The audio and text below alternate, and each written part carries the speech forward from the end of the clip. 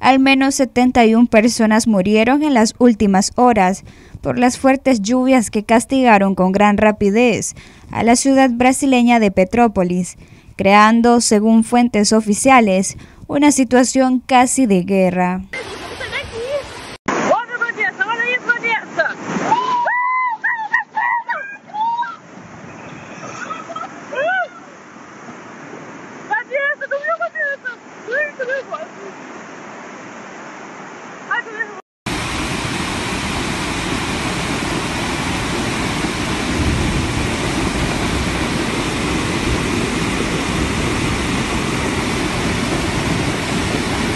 Petrópolis, a unos 70 kilómetros del río de Janeiro, llegó a acumular 259 milímetros de lluvia en seis horas y la tarde y noche de este pasado martes.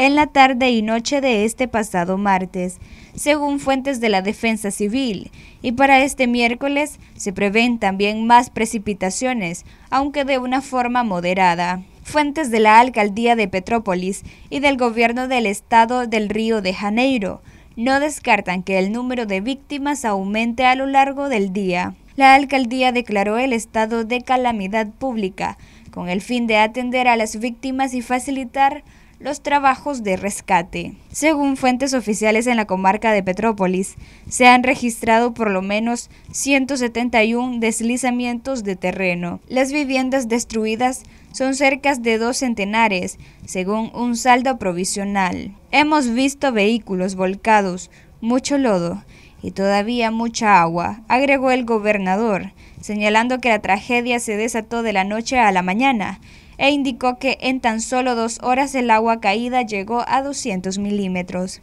Los 259 milímetros acumulados en seis horas en Petrópolis fue incluso más que lo previsto para todo el mes de febrero, que era de 238 milímetros. Es una cantidad absurda y lamentable, no se pudo salvar a toda la gente, añadió el gobernador. Esta no es la primera vez que la región serrana de Río es golpeada por fuertes tormentas, ya que fue escenario en el 2011 de la mayor tragedia climática jamás registrada en Brasil, cuando los temporales dejaron más de 900 muertos y un centenar de desaparecidos. Para Noticias 12, Luisa Centeno.